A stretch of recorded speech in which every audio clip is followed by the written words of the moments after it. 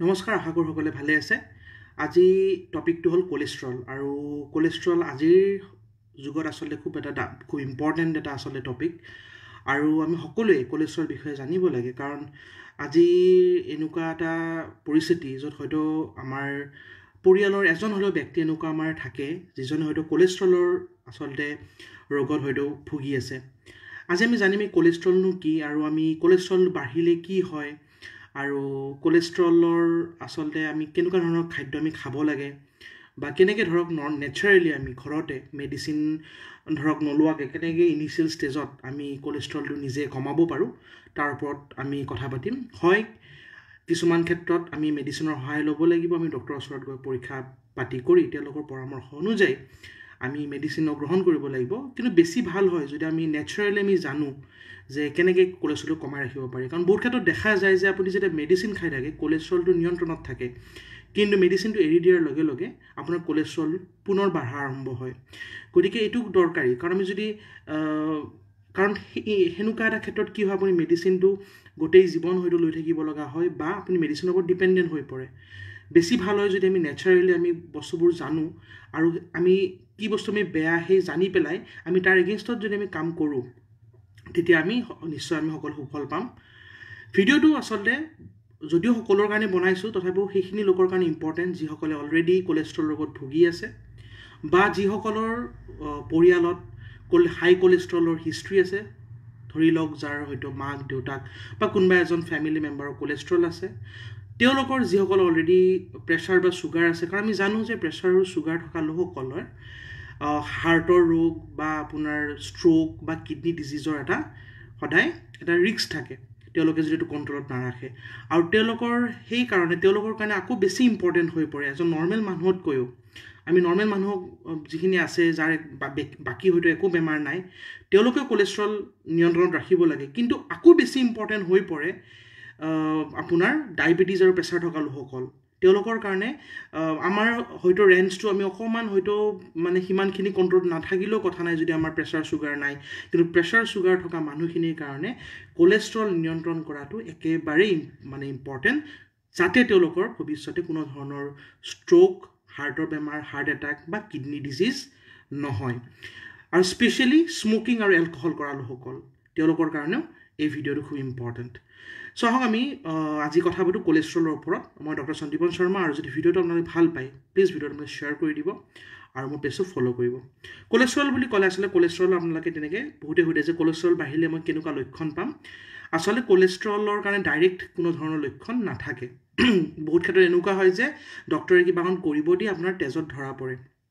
কলেষ্ট্ৰলে লক্ষণ তেতিয়া দেখায় যেতিয়া কলেষ্ট্ৰলে কিবা এটা অৰ্গেন বা আপোনাৰ অংগ যদি দুৰ্বল বা অকণমান এফেক্ট কৰে। ছাপ'জ কলেষ্ট্ৰলৰ কাৰণে যেতিয়া হাৰ্টত অকণমান ব্লকেজ আৰম্ভ হৈছে আপোনাৰ ভাগৰ লগা হ'ব পাৰে তেনেকুৱা বা বুকৰ বিষ খোজকাঢ়িলে বুকৰ বিষ আৰম্ভ হ'ব পাৰে বা কেতিয়াবা আপোনাৰ কিডনী ইফেক্ট হ'ব পাৰে। কেতিয়াবা কি হ'ব যদি আপোনাৰ যিবিলাক আপোনাৰ ব্ৰেইনলৈকে যিবিলাক আপোনাৰ তেজ পৰিৱেশ নলী আছে তাত যদি কলেষ্ট্ৰলৰ এটা লেয়াৰ পৰে এটা যদি প্ৰলেপ পৰে হয়তো তেতিয়া কেতিয়াবা আপোনাৰ ব্ৰেইনলৈকে তেজ চলাচলটো কমি যাব পাৰে যাৰ ফলত আপোনাৰ মূৰটো কেতিয়াবা বেয়া লাগিব পাৰে। তো এনেকুৱা। কিন্তু জেনেৰেলি কলেষ্ট্ৰলৰ একচুৱেলি ডাইৰেক্টলি কোনো ধৰণৰ লক্ষণ নাথাকে। খুব ইম্পৰ্টেণ্ট কথা। যে মোৰ একো লক্ষণ নাই মানে এইটো নুবুজায় যে মোৰ কলেষ্ট্ৰল নৰ্মেলত আছে। সেইকাৰণে আমেৰিকান হাৰ্ট এছ'চিয়েশ্যন বুলি বহুত ডাঙৰ এটা সন্থা তেওঁলোকে কৈছে যে বিছ বছৰৰ ওপৰৰ প্ৰতিজন মহিলা বা পুৰুষে এটলিষ্ট চাৰি বা ছয় বছৰৰ মূৰত এবাৰ নিজৰ কলেষ্ট্ৰলটো চেক কৰিব লাগে। কাৰণ হয়তো তেওঁলোকৰ ভিতৰে ভিতৰে হৈ থাকিব পাৰে। সেইকাৰণে তেওঁলোকে এইটো ৰিকমেণ্ডেশ্যন এটা দিছে যে তেওঁলোকে চাৰি বছৰৰ মূৰত এটলিষ্ট বা ছয় চাৰি বা ছয় বছৰৰ ভিতৰত তেওঁলোকে মাজে মাজে কলেষ্ট্ৰল চেক কৰি থাকিব লাগে। তো এইটো জানিব লগা কথা যে আমাৰ কলেষ্ট্ৰলৰ কোনো লক্ষণ নাথাকিব পাৰে।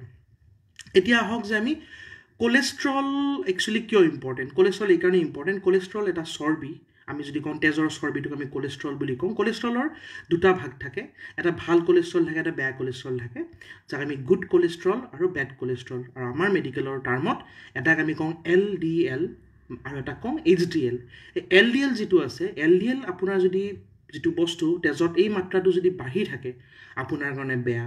ই আপোনাৰ বিভিন্ন ৰক্ত পৰিবাহী ধমনীত ব্লক কৰিব পাৰে আৰ্টাৰী ব্লক কৰিব পাৰে হাৰ্টত ব্লক কৰিব পাৰে ব্ৰেইনত যোৱা নলী ব্লক কৰি পেলাই ষ্ট্ৰ'ক কৰিব পাৰে বা হাৰ্টৰ বিভিন্ন বেমাৰ কৰিব পাৰে কিডনীৰ বেমাৰ কৰিব পাৰে। হুৱেৰেজ জাষ্ট যিটো উল্টা গুড কলেষ্ট্ৰল যিটো ভাল আমি এইচ ডি এল বুলি কওঁ এইচ ডি এলে আকৌ এইবিলাক হোৱাত বাধা দিয়ে।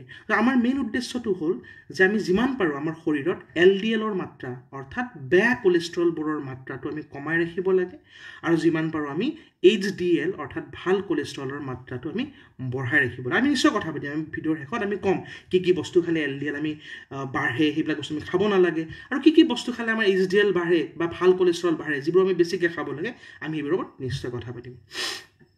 এতিয়া কলেষ্ট্ৰল থকা নথকাটো আমি এটা পৰীক্ষা কৰোঁ যাক আমি ফাষ্টিং লিপিড প্ৰফাইল বুলি কওঁ। তেজত এইটো কৰা যায় যেনে খালী পেটত কৰা যায় পুৱাই টেষ্টটো আমি বিভিন্ন ধৰণৰ বস্তু থাকে সেই টেষ্টটোত যেনেকৈ লিভাৰ ফাংচন টেষ্ট থাকে যেনে কিডনী ফাংচন টেষ্ট থাকে যেনে থাইৰয়ডৰ কাৰণে টি এইচ এইচ কৰা যায় যেনেকৈ ডায়েবেটিছৰ কাৰণে চুগাৰ চোৱা যায় সেনেকৈ যদি আমি কলেষ্ট্ৰল বিষয়ে জানিব লাগে আমি ব্লাডৰ টেষ্টটোৰ নাম হ'ল ফাষ্টিং লিপিড প্ৰফাইল আৰু ইয়াত বিভিন্ন ধৰণৰ কিছুমান পেৰামিটাৰ্ছ থাকে। তাত এল ডি এলৰ মাত্ৰা থাকে এইচ ডি এলৰ মাত্ৰা থাকে আৰু ট্ৰাইগ্লিচাৰাইড বুলি এটা বস্তু থাকে। ট্ৰাইগ্লিচাৰাইডটো কলেষ্ট্ৰলৰ পৰা সামান্য পৃথক। আমাৰ দেখা গৈছে বহুত লগত ট্ৰাইগ্লিচাৰাইড বাঢ়ি থাকে। তাত দেখিব। ট্ৰাইগ্লিচাৰৰ ওপৰত এটা এক্সট্ৰা ভিডিঅ' এটা বনাম। কাৰণ ই সামান্য পৃথক। আজি আমি ডাইৰেক্ট কলেষ্ট্ৰলৰ কথা পাতিম। যিটো আছিলে বেছি ইম্পৰ্টেণ্ট আমি যদি নিজৰ কলেষ্ট্ৰলটো আজি যদি আমি এই ভিডিঅ'টো আমি ফ'ল' কৰোঁ বা আমি যদি যিখিনি নেচেচাৰী আমি নীতি নিয়ম পালন কৰোঁ হয়তো ভৱিষ্যতত আমি বহুত আমি হাৰ্ট এটাক বহুত হাৰ্টৰ বেমাৰ বহুত ষ্ট্ৰ'ক হয়তো আমি নিজে আমি তাৰ পৰা বাচি থাকিব পাৰোঁ বহুত লগো আমি বচাব পাৰিম। আমি ভিডিঅ'টো ভালকৈ চাই আমি বেলেগকো আমি শিকাব পাৰিম যে এইকেইটা বস্তু বেয়া। কাৰণ হয়তো ছ'চিয়েল মিডিয়া বা ফেচবুক সকলোৰে এচেচেবল নহয়। হয়তো আমাৰ জেনেৰেলি এইবোৰ বেমাৰ আমাৰ অ'ল্ড এজত হয় বয়সত হয় ফিফটি ছিক্সটি ইয়াৰ্ছত হয়। যিখিনি লোকসকলে হয়তো বেছি ফেচবুক বা ছ'চিয়েল মিডিয়া ইমান ইউজ নকৰে। কিন্তু আপোনালোক যিখিনি কম বয়সীয়া লোক আছে হয়তো ভাবি আছে যে আপোনালোকৰ কলেষ্ট্ৰল নাই। ষ্টিল আপোনালোকে সেইখিনি এটলিষ্ট যিখিনি আপোনালোকৰ ঘৰৰ এডাল্টছ আছে যিখিনি ডাঙৰ মানুহ লোক আছে যিখিনি বয়সত আপোনাৰ জ্যেষ্ঠ লোক আছে তেওঁলোকৰ কাৰণে এটলিষ্ট আপোনালোকে ভিডিঅ'টো চাই তেওঁলোকক এই ভিডিঅ'টো আপোনালোকে বুজাব পাৰিব। এতিয়া আহক যে কলেষ্ট্ৰল কি কাৰণত বাঢ়ে? প্ৰথম কথা যদি আমাৰ বয়স অনুযায়ী আমাৰ ওজন বেছি হয় অবেচিটি মেদবহুলতা। নম্বৰ টু যদি আমি এক্সাৰচাইজ নকৰোঁ। আমি যদি এলেহুৱা এটা জীৱন যাপন কৰোঁ আমি আমি মষ্ট অফ ডে মানে টাইম আমি লেজি হৈ থাকোঁ। আমাৰ কোনো ধৰণৰ শাৰীৰিক আমাৰ পৰিশ্ৰম নাই। আমি জাষ্ট অফিচত বহি থাকোঁ আহি পেলাই ঘৰত আমি শুওঁ পিছদিনা উঠি পেলাই আকৌ অফিচত যাওঁ। শাৰীৰিক পৰিশ্ৰম যিবিলাকৰ নাথাকে। থাৰ্ড নম্বৰ হ'ল যিসকল লোকে এটা আনহেল্ডি ডায়েট ফ'ল' কৰে। আমি ডায়েটৰ ওপৰত কথা পাতিম। তথাপি যি আনহেল্ডি ডায়েট মানে কি? যিবিলাক লোকে বেছি ফ্ৰুটছ ভেজিটেবলছ এইবিলাক নাখায়। তাৰ বদলে আমি package food artificial food junk food fast food এইবিলাক বেছিকৈ খায় চাৰি নম্বৰ হ'ল কলেষ্ট্ৰল কাৰ বাঢ়ে যিসকল লোকৰ ডায়েবেটিছ থাকে ডায়েবেটিছ থকা লোকসকলৰ কলেষ্ট্ৰল বঢ়াৰ চান্সটো বেছি থাকে নৰ্মেল মানুহতকৈ। তাৰ বাহিৰে থাইৰয়ডৰ লোক থকাসকল যিসকল লোকৰ হাইপ'থাইৰয়ডিজিম থাকে। তাৰ বাহিৰে কিডনীৰ বেমাৰ থকা যেনে ক্ৰনিক কিডনী ডিজিজ কিডনী যিবিলাকৰ এফেক্ট হৈ থাকে কিডনী বেমাৰ থাকে যিসকল লোকৰ ক্ৰিয়েটিনিন বাঢ়ি থাকে তেওঁলোকৰ কলেষ্ট্ৰলৰ লগত বাঢ়া দেখা যায়। তাৰ বাহিৰে খুব বেছি স্মকিং কৰা লোকসকল আৰু এলকহল যদি লগাতকৈ বেছি পৰিমাণে মদ্যপান কৰে তেওঁলোকৰো কলেষ্ট্ৰলৰ মাত্ৰাটো বাঢ়া দেখা যায়। তো এইকেইটা হ'ল মেইন কথা। আৰু এটা আছে যে ফেমিলিয়েল জেনেটিক কিছুমান এনেকুৱা কথা আছে যে আপোনাৰ হয়তো একো নাই আপুনি একদম খুবেই ভাল বস্তু খায় খুবেই আকৌ আপোনাৰ হয়তো একো বেমাৰেই নাই ষ্টিল আপোনাৰ জেনেটিক কাৰণত হয়তো আপোনাৰ কলেষ্ট্ৰলটো বাঢ়ি থাকিব পাৰে। তো মই কাৰণকেইটা ক'লোঁ। এতিয়া আহক যে আমি কেনেকৈ কমাম। চবতকৈ ইম্পৰ্টেণ্ট এক্সাৰচাইজ এক্সাৰচাইজ আমি কৰিব লাগে এনি ফৰ্ম অফ এক্সাৰচাইজ আপোনাৰ যদি কলেষ্ট্ৰল ধৰা পৰিছে তেতিয়াও আৰু যদি নাই নহ'বৰ কাৰণে হ'লেও আপুনি এক্সাৰচাইজ ৰেগুলাৰ কৰে এক্সাৰচাইজ প্ৰেছাৰ চুগাৰলৈকে বিভিন্ন বেমাৰৰ পৰা আপোনাক বচাই ৰাখিব। এক্সাৰচাইজ যিটো ৰিকমেণ্ডেশ্যন হ'ল এটলিষ্ট সপ্তাহত পাঁচদিন হ'লে আমি এক্সাৰচাইজ কৰিব লাগে। সাতদিন নহ'লেও কথা নাই। আৰু এটলিষ্ট গোটেই এক দুই ঘণ্টা নহ'লে আধা ঘণ্টা হ'লেও হ'ব। তো ৰিকমেণ্ডেশ্যনটো এনেকুৱা যে সপ্তাহত এশ পঞ্চাছ মিনিট মানে প্ৰতিদিনে যদি আমি ত্ৰিছ মিনিটকৈ কৰোঁ ডেট ইজ এনাফ সেইখিনি যথেষ্ট সপ্তাহত পাঁচদিন কৰিলে হৈ যায়। সেইটো কেনেকুৱা হ'ব লাগে? অকণমান ভাগৰ লগা এক্সাৰচাইজ হ'ব লাগিব অকণমান বেগাই খোজকাঢ়িব লাগিব দৌৰিব পাৰে আপুনি জিমত এক্সাৰচাইজ কৰিব পাৰে কিবা খেলিব পাৰে ছুইমিং কৰিব পাৰে চাইক্লিং কৰিব পাৰে বিভিন্ন ধৰণৰ আপুনি এনেকুৱা উপায় ল'ব পাৰে। তাৰ বাহিৰে আছে যে আপুনি স্মকিং যিমান পাৰে আপুনি এভইড কৰিব লাগে আৰু মদ্যপান যদি অলৰেডি কৰি আছে আপুনি তাৰ মাত্ৰাটো লাহে লাহে লিমিটত আনিব লাগে। যিসকলে কৰা নাই অভিযোগ তেওঁলোকে ষ্টাৰ্ট কৰা কোনো চুক্তি নাই। বহুতে এটা ভুল ধাৰণা লয় যে মদ্যপান কম পৰিমাণে কৰিলে কলেষ্ট্ৰলৰ কাৰণে ভাল তেনেকুৱা একো নহয়। কলেষ্ট্ৰল কমোৱাৰ বহুত উপায় আছে আমি মদৰ উপায়টো নল'লেও কথা নাই। আমি মদ খাই সেইটো সেইটো এটা অজুহাত লৈ আমি মদ্যপান কৰাটো উচিত নহয়। চ' যিসকল লোকে মদ্যপান নকৰে তেওঁলোকে মদ্যপান কৰিব একদমেই নালাগে আৰু যিখিনি কৰি আছে তেওঁলোকে এটলিষ্ট তেওঁলোকৰ যাতে লিমিট লিমিটত ৰাখি মদ্যপান কৰে। তাৰ বাহিৰে এতিয়া কথাটো হৈছে যদি তেওঁলোকৰ চুগাৰ আছে তেওঁলোকৰ চুগাৰ থাকিলে তেওঁলোকে যিমানে মেডিচিন নাখাওক বা যিমানে যি নকৰক চুগাৰটো কণ্ট্ৰল কৰাটো চবতকৈ ইম্পৰ্টেণ্ট কথা। যে যিখিনি মাত্ৰা ফাষ্টিং চুগাৰ যিখিনি খাই উঠি পি পি চুগাৰ থাকিব লাগে সেইখিনি যদি মাত্ৰাত থাকে তেওঁলোকৰ কলেষ্ট্ৰল বাঢ়া চান্সটো কমি যায়। তো চুগাৰ কণ্ট্ৰল কৰাটো খুব দায়িত্ব। লগতে প্ৰেছাৰ কণ্ট্ৰল কৰাটো খুব দায়িত্ব। লগতে থাইৰইড যদি থাইৰইডৰ মেডিচিন আপুনি খাব লাগিব কাৰণ সেইসকল লোকে যিমানে মেডিচিন নাখাওক তেওঁলোকে যদি থাইৰইডটো কণ্ট্ৰল কৰে অট'মেটিকেলি কলেষ্ট্ৰলটো নিজৰ ৰেঞ্জত আহি যায়। তো এইটো খুব ইম্পৰ্টেণ্ট কথা। তেওঁলোকৰ কাৰণে থাইৰইড আৰু চুগাৰ কণ্ট্ৰল কৰাটো প্ৰাইমেৰী এইম তেওঁলোকে কলেষ্ট্ৰলৰ দব দবাই খোৱাটো মেডিচিন খোৱাটো ইম্পৰ্টেণ্ট নহয়। কাৰণ তেওঁলোকৰ সেই যদি আমি বেমাৰটো মেইনলি ট্ৰিটমেণ্ট কৰোঁ কলেষ্ট্ৰলটো নিজে নিজে নিজৰ ৰেঞ্জত আহি যায়। তো এইটো দৰকাৰী। এতিয়া আমি লাষ্টত আমি কথা পাতিম খোৱাৰ ওপৰত। আমি কি কি খাব নালাগে। চবতকৈ ইম্পৰ্টেণ্ট কথা আমি যদি আমি মিট প্ৰডাক্টছৰ কথা কওঁ মাংস। মাংস আমি জন্তুৰ মাংস যিমান পাৰোঁ এভইড কৰিব লাগে। ৰেড মিট আপুনি এইটো মাটন হওক মানে ছাগলী মাংস হওক আমি পৰ্ক হওক গাহৰি মাংস হওক আমি যিমান পাৰোঁ এভইড কৰিব লাগে। লগতে চৰাইৰ মাংস যদি আমি খাওঁ চৰাই মাংস যিমান পাৰোঁ আমি ফেট কম থকা চৰাই মানে চৰ্বি কম থকা চৰাই খাব লাগে পাৰৰ মাংস হাঁহৰ মাংস এইবিলাকত যিটো ছালটো থাকে আমি ছালৰ সৈতে খাওঁ তাত বহুত বেছি পৰিমাণে চৰ্বি থাকে আৰু সেইবিলাক আচলতে খোৱাটো উচিত নহয় পাৰৰ মাংস হাঁহৰ মাংস। আমি লোকেল চিকেন খাব লাগে সৰু চাইজৰ যিমান পাৰোঁ যিসকল লোকৰ কলেষ্ট্ৰলৰ প্ৰব্লেম আছে। নেক্সট আহক মাছ। মাছ আমি যিমান খাব পাৰোঁ সিমান ভাল মাছ একচুৱেলি কোৱা হয় মানে এটা ৰিচাৰ্চত কৈছে সপ্তাহত যি দুই তিনিদিন মানে লৈকে সপ্তাহত মাছ খায় তেওঁলোকৰ হাৰ্টৰ ডিজিজ হোৱা চান্সটো বহুত বেছি পৰিমাণে কমি যায়। তো আমি সৰু মাছ হওক একেবাৰে সৰু মাছ হওক কিন্তু আমি লোকেল ভাল মাছ যদি আমি খাব পাৰোঁ আমাৰ কাৰণে শৰীৰৰ কাৰণে বহুত ভাল। তাৰ বাহিৰে কণী। কণী আমি খাব পাৰোঁ সপ্তাহত দুই তিনিটা কণী খোৱা একো প্ৰব্লেম নহয়। আৰু ৰেগুলাৰ যদি খাওঁ তেতিয়া আমি তাৰ যিটো ভিতৰৰ মানে হালধীয়া অংশটো বাহিৰ কৰি যিটো বাহিৰৰ হোৱাইট পাৰ্টটো আমি খাব লাগে গতিকে মানে য়ক পাৰ্টটো খুব বেছি খোৱাটো মানে কুহুমটো বেছি খোৱাটো উচিত নহয়। তথাপি আমি দুই তিনিটা সপ্তাহত আৰামছে খাব পাৰোঁ তাত কোনো ধৰণৰ প্ৰব্লেম নাই। কাৰণ এই এইকাৰণে কণী এইকাৰণে খাব লাগে। তাত খুব ভাল চ'ৰ্চ হয় প্ৰটিনৰ খুব ভাল চ'ৰ্চ হয় ভিটামিন ডি ভিটামিন ই এইবিলাকৰ। গতিকে কণী আচলতে খুব ভাল হয়। গতিকে যদি নৰ্মেল মানুহটো ৰেগুলাৰে খাব পাৰে কোনো প্ৰব্লেম নহয় যদি কলেষ্ট্ৰলৰ প্ৰব্লেম আছে অকণমান কমাই সপ্তাহত সাতদিন নাখায় দুই তিনিদিন তেওঁলোকে নিশ্চয় কণী খাব পাৰে।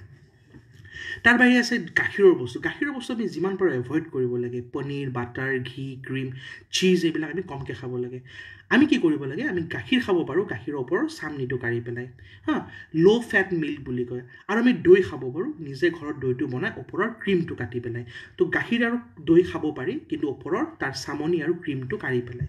আদাৰৱাইজ গাখীৰৰ বেছি বস্তু খোৱাটো উচিত নহয়। খুব বেছি মিঠা খোৱাটো উচিত নহয় মিঠা বস্তু কমাব লাগে। জাংক ফুড যিমান পাৰোঁ কমাব লাগে ফাষ্ট ফুড যিমান পাৰোঁ কমাব লাগে ময়দা থকা বস্তু কমাব লাগে। পেষ্ট্ৰি এইবিলাক বিস্কিট এইবিলাকত কি হয় খুব বেছি পৰিমাণে অইল ফেট ডালডা এইবিলাক ইউজ কৰা যায়। তো সেইবিলাক বস্তু যিমান ক্ৰীম আৰ্টিফিচিয়েল ক্ৰীম এইবিলাক আমি কমকৈ খাব লাগে গতিকে পেষ্ট্ৰি এইবিলাক বস্তু আমি কেক এইবিলাক যিমান পাৰোঁ আমি কমকৈ খাব লাগে। হোটেলৰ বস্তুবিলাক কি হয় তেওঁলোকে যদি এবাৰ তেলটো গৰম কৰি ঠাণ্ডা হোৱাৰ পিছত সেই তেলখিনি বহুতে পেলাই নিদিয়ে কাৰণ তেওঁলোকৰ হয়তো লছ হয় সেইখিনি বস্তু তেওঁলোকে আকৌ পিছদিনা সেইখিনি তেল গৰম কৰি তাত হয়তো চিঙৰাটো ভাজে বা হয়তো পকোৰাটো ভাজে।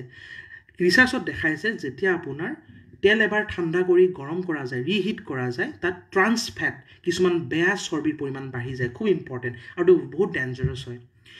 তেল কেতিয়াও এবাৰ ঠাণ্ডা কৰি আৰু গৰম কৰি কোনো বস্তু তাত ভাজিব নালাগে এইটো বেয়া কথা। ঘৰতো আপোনালোকে মানে লাগালে কম তেল দিয়ক কিন্তু বহুতে কি কয় হয়তো মাছ ভজা তেলটো ৰৈ যায় পিছদিনা আকৌ তাত কিবা বনায়। লাগালে তেলখিনি পেলনি যাওক কোনো কথা নাই। বেমাৰ হৈ আপোনাৰ তাতকৈ বেছি আপোনাৰ পিছত প্ৰব্লেম হ'ব। তো আপোনালোকক সেইটোৱে ৰিকুৱেষ্ট যে তেল কেতিয়াও গৰম কৰি ঠাণ্ডা কৰি ৰিহিট কৰি আৰু ৰিইউজ ৰিহিট কৰিব নালাগে। এইখিনি কথা। তো বেয়া বস্তুখিনি কথা ক'লোঁ মই অলমষ্ট কি যিখিনি বস্তু খাব নালাগে। এতিয়া আহক যে আমি কি কি বস্তু খাব লাগে। নাম্বাৰ ওৱান অ'টছ খোৱাটো খুব ভাল কলেষ্ট্ৰলৰ কাৰণে। খুব বেছি ফাইবাৰ থাকে বিটা গ্লুকান বুলি এটা কেমিকেল বস্তু থাকে যিটো আমাৰ কলেষ্ট্ৰল কমত হেল্প কৰে। তো আমি অ'টছ খাব লাগে আমি বাৰ্লি খাব পাৰোঁ। খুব বেছি এইবিলাক অ'টছ ডালিয়া বাৰ্লি এইবিলাকত খুব বেছি পৰিমাণে কি থাকে ফাইবাৰ থাকে যে কলেষ্ট্ৰল কমত হেল্প কৰে।